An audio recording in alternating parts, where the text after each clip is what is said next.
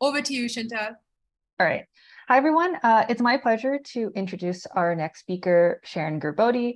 Uh, we're really excited to hear about her living history. And also just to mention, if you have any questions come up during the course of the talk, please feel free to put them in the chat and we'll try to get to them. All right, take it away, Sharon. Thank you so much, Chantal.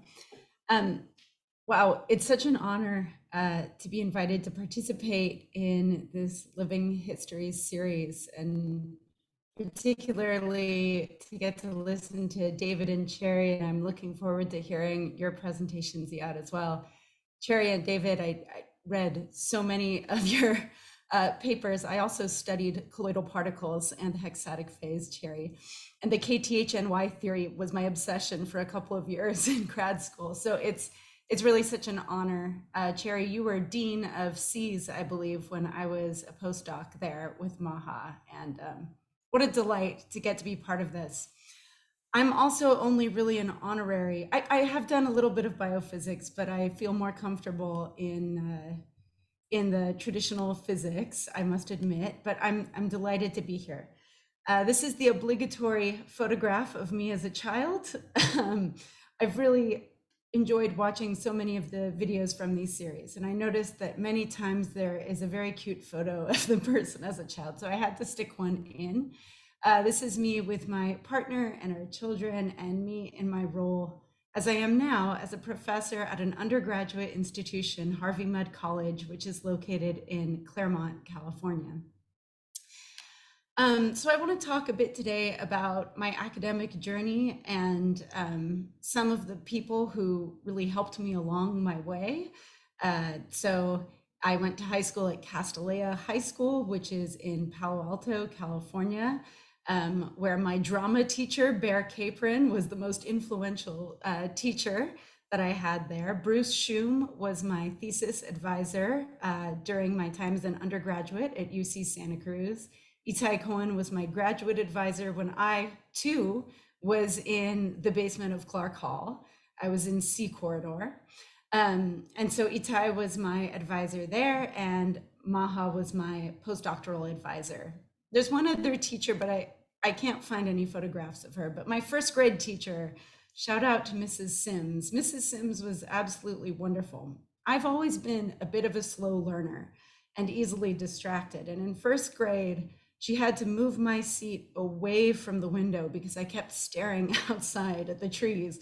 Um, we had these daily exercises that we had to complete before we were allowed to go to recess. And I only went to recess about five times in all of first grade, but it was wonderful because Mrs. Sims had a record player and she would play classical music, and it would just be Mrs. Sims and I for a delightfully peaceful time listening to music and looking out at the trees. So uh, she was a wonderful teacher for me as well. I wish I could find a photo. Um, so let me take you on a little tour here. These are my high school years. Uh, I was in the class of 1997. Here we are on the right, and that little face there is my face. Uh, standing next to my best friend Helen, also pictured down here. Over here on the right is Mr. Capron, Bear Capron my drama teacher, who was uh, an amazing advocate for me, he's pictured there with his husband, Alva. Um, and Bear was an amazing mentor to me throughout my rather tumultuous uh, teenage years. And because of that, because he was such a wonderful teacher, I really loved theater. And so here are some, you know, cheesy high school plays that I was in. Because it was an all girls school, we were always looking for uh, male identified people who were willing to participate in our plays. And so this is me. And right next to me here, also in this photo, um, is our one male teacher who was willing to participate in these plays. And that was Mr. Sean Fattrell, my physics teacher. Um, and I absolutely loved taking physics with Mr. Fattrell. I also loved math, but I just did not conceive of myself as being a scientist. I, I knew that I sort of had a knack for math and that I enjoyed it, but you know, I, I won the awards for writing and for theater and so on. So I figured that I would do those sorts of things in my life. And I went to college at UC Santa Cruz because I thought being in the Redwood Forest was a great place to be as a creative writer by the ocean and in the Redwood Forest. in fact, it was the only college I applied to. Um, and I spent the first three years of college, two and a half years, as a, a creative writing and theater major. And then in my third year, I had to take a, you know, a science course to satisfy my general education requirements. And I took an astronomy course and I thought, oh my goodness, this is so much fun. And so I decided to switch in my third year, having never even taken calculus, to be a physics major and astronomy minor. Um, I was highly discouraged by everyone because it was a rather absurd thing for someone to do. Uh, in particular, I remember one physics professor telling me that the odds of me becoming a physicist were about as good as the odds of me becoming a rock star. I'll come back to that later. Um, but it sort of steeled me and made me want to do it even more. I can't say that I quite majored in physics on a dare, but it's similar. Um, so I did do a lot of studying in my last few years of college to catch up on all the math and all the physics, and it was just an absolute blast. Uh, I loved learning about that, and I got a chance to do undergraduate research um, in particle physics with an experimentalist, Bruce Schumm, and we worked on uh, sort of modeling how close to the beamline a detector would have to be to detect supersymmetric electrons. Um, but outside of studying physics, um, I, I struggled a little bit with something that I think I still struggle with, which is how can I simultaneously study what I love and also do something that is helpful in the world? Um, and it was something I struggled with a lot as an undergraduate because to me, studying physics was utterly indulgent. Um, and I worried that I wasn't interfacing with the world of humans and all of the problems in that world. Um, so, so one way I tried to deal with this was um, I volunteered at the Santa Cruz AIDS, Pro- AIDS Project for uh, three years during college and actually took a year off after college and before grad school um, and worked there among other things. But so this is me at my graduation with Timothy and Dawn from the Santa Cruz AIDS Project, who were mentors to me there. And I also spent a bunch of time indeed at the beach, enjoying the beach as I had intended to. Um, after my year off, during which I worked at the Santa Cruz AIDS Project, bought an old motorhome and fixed it up and drove it around the country, the ultimate destination of that drive in the motorhome was Ithaca, New York, uh, where I landed for graduate school and um, started working for this guy named Itai Cohen. Uh, and at the time, he was still a postdoc at Harvard working with Dave Weitz, but he had been hired at Cornell. And uh, Mark Buckley, this guy over here in the mask, and I were his first two graduate students that he hired before he even set foot at Cornell. And it was such an experience for me as an experimentalist because I got to set up the lab along with Mark. Um, in particular, I was in charge of obtaining and helping with the installation of our confocal microscope. I later built uh, the holographic optical tweezers setup that interfaced with our microscope. This is we, me with my friend Rajesh Ganapathy, another lab mate, after we finally got the laser aligned, tricky to do when it's invisible. Um, and I really had a lot of opportunities there to sort of have ownership over an experimental laboratory space, even though uh, I was just a lowly graduate student.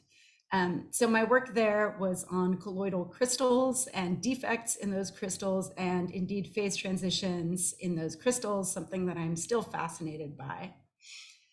Um, what else did I do in grad school? Well, I didn't actually become a rock star, but I did join a band with some of my friends, uh, lab mates. Indeed, that is the same Mark Buckley from Itai's lab. Um, and the other thing that I did is I had this really fantastic grant through the NSF IGERT program, uh, which allowed me to do some work that was independent of my thesis work. And at first, I wanted to study cucumber tendrils because I've been fascinated them by them for my whole life. Um, but Hi, I was Tara. yes. Sorry to interrupt. You just have a few minutes left. Thank you. Um, so I tried to grow cucumber plants and couldn't keep them alive. Uh, but I learned that I could keep a plant alive long enough for it to grow some roots. And I grew it in some clear gel and, and made a little imaging system to be able to image actually in three dimensions, though I'm just showing you a single view here, image a plant root growing over time and interacting with obstacles. So that was sort of my first step into the world of biophysics. Um, I also had the opportunity to travel to India for a winter school at IIT Kanpur uh, in 2008 with uh, Dr. Sandip Tiwari. So it was a group of us from Cornell.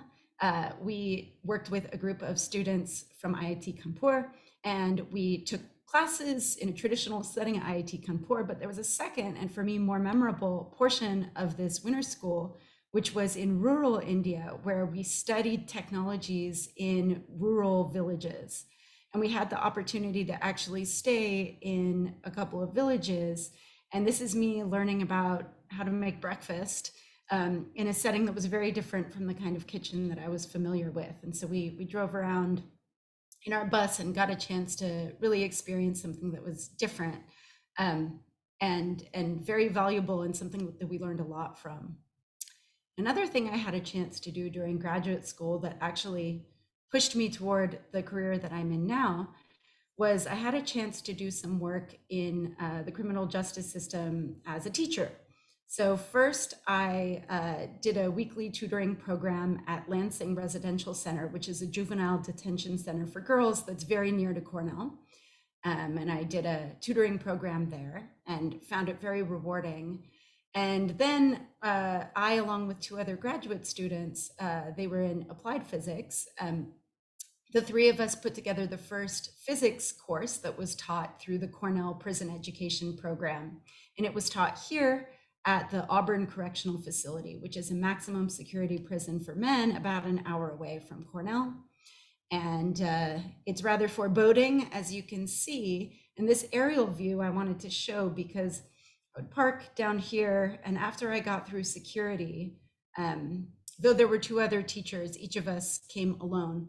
And so it was just me with a guard walking across this enormous yard uh, to the back. This was the building where we actually taught. And my students were absolutely amazing, dedicated, appreciative, and very curious students. And working with them made me decide that I wanted to be at a teaching focused institution, or at least at an institution where teaching was truly valued um, and not just seen as a distraction from research.